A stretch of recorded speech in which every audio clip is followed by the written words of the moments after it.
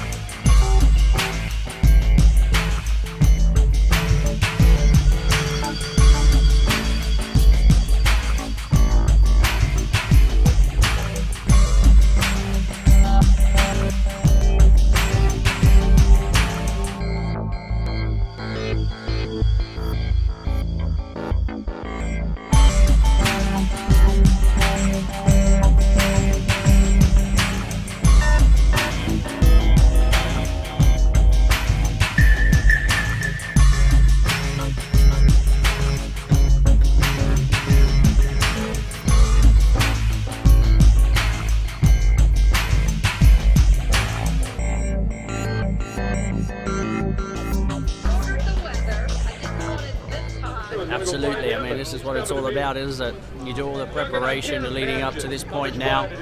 It's an exciting time. The old butterflies start kicking in. But, uh, you know, it's all about just preparing well and getting ready for the race, and I think we've done that very well.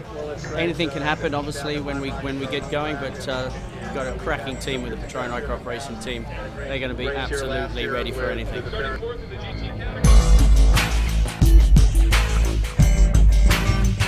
Oh yeah, I'm hoping the gearbox will work. Right now it's doing pretty good, so I don't think we'll have a problem. Tires should come up quick with the track temperature the way it is. Obviously, we haven't really done that much dry running as it uh, was torrential rain yesterday, so uh, we only got a 20-minute warm-up this morning to try and dial the car in and get both drivers in the car. Uh, everything seemed to go pretty well this morning. They weren't 100% happy, so we've made some adjustments, hoping it's going to stay dry.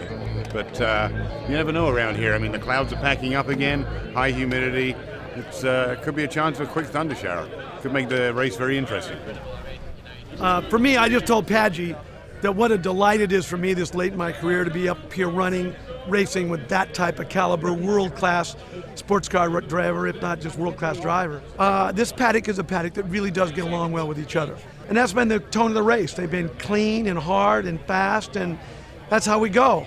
And I think that is really, I think that's a proper way to go racing. Seriously, dot the I's, cross the T's, just be on your guard, all right? Look at the weather, it could storm up at any time. Drivers are going to call if they need rains. And uh, anything can happen like last year with the, with the uh, puncture towards the end, so be ready. Uh, we may do multiple pit stops to correct the single problem under yellow. But uh, you guys got it going. Let's keep the roll moving. Everybody stick it in. Let's go. Ready? One, two, three, take!